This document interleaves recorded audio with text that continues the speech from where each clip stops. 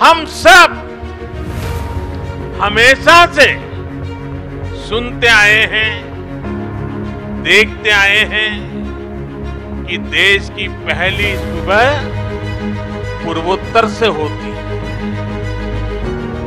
लेकिन सच्चाई ये भी है कि पूर्वोत्तर और असम में विकास की सुबह को एक लंबा इंतज़ार करना पड़ा। हिंसा अभाव, तनाव, भेदभाव, पक्षपात, संघर्ष, इन सारी बातों को पीछे छोड़कर अब पूरा नॉर्थ ईस्ट विकास की राह पर आगे बढ़ रहा है।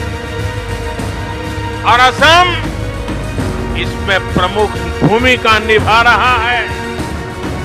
असम के सामर्थ्य को बढ़ाने में यहाँ की आधुनिक इंफ्रास्ट्रक्चर की बड़ी भूमिका।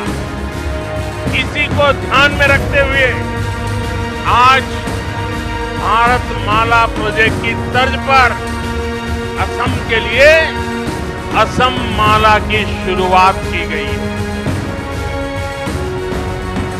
टी वर्कर्स और उनके परिवार के स्वास्थ्य की देखभाल के लिए, जाँच और इलाज के लिए टी गार्डन्स में ही मोबाइल मेडिकल यूनिट भी भेजी जाती है। मुफ़्त दवाओं का भी इंतज़ाम किया जाता है।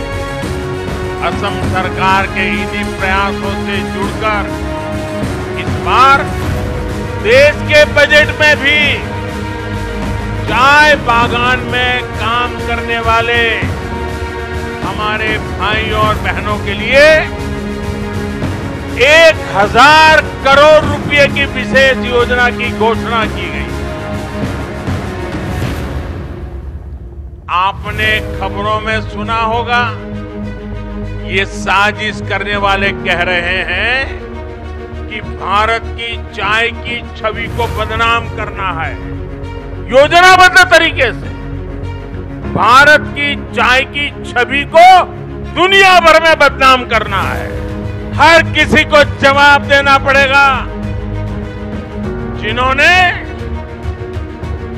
हिंदुस्तान की चाय को बदनाम करने का पीड़ा उठाया है और उनके लिए यहाँ जो चुप बैठे हैं।